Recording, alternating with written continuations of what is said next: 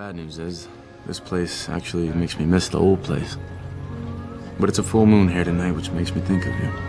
Because I know that no matter what I'm doing, no matter where I am, this moon will always be the same size as yours, half a world away.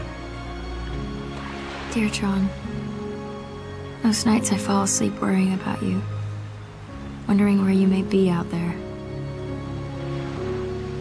Not tonight. Tonight you're here with me.